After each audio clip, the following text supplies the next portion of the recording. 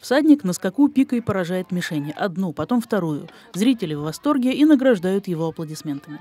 В городском парке в День защитника Отечества выступает конный театр городского дома культуры «Заречный». Программа посвящена военной истории России, в той ее части, которая касается кавалерии времен Великой Отечественной войны. Руководитель конного театра Владимир Киселев и его артисты не один год изучают историю отечественной кавалерии, применяя знания на практике. Зрителям показывают приемы владения шашкой, владения пикой, современный аналог упражнений строевого устава конницы рабоче-крестьянской Красной Армии. Устав 1938 года, то есть вот все действия, все э, то же самое. Ну, мы понятно, что мы сейчас не можем брать те мишени, которые раньше были. Мы вместо нее там бутылку с водой, да, но э, это именно ставился удар, так учили именно кавалеристов работать э, оружием. Зрителям тоже предлагалось попробовать освоить приемы обращения с шашкой. Рубку бутылки с водой, веревки, печена капусты. Не на лошади, конечно, в пешем строю. У некоторых получалось вполне недурно. Упражнения по преодолению препятствий также входили в строевой устав.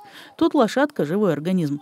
Могла, как говорят конники, и закинуться, отказаться идти на препятствие. Но это только разжигало азарт и зрителей, и всадниц, упорство которых в итоге одерживало верх над непослушным животным.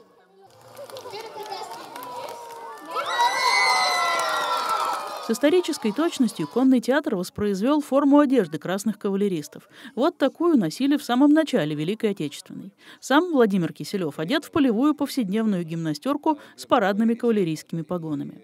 Погоны, кстати, появились в Красной Армии только с 1943 года. На девушках парадная форма, которую специально шили к Параду Победы. Погоны курсантские. Кавалерия времен Великой Отечественной незаслуженно забыта, рассказывает руководитель конного театра. Да, на смену живой силе пришла техника, танки, бронемашины. В 1953 году этот род войск и вовсе был упразднен. Но немало славных страниц истории войны написано с участием конницы. Сталинградскую битву никто не знает, что э, замкнули окружение кавалеристы. И потом очень долго удерживали от Гударяна. Никто совершенно не знает, вот жители Волоколамска, что, оказывается, целый, целый полк, который полег под Волоколамском, именно кавалеристы.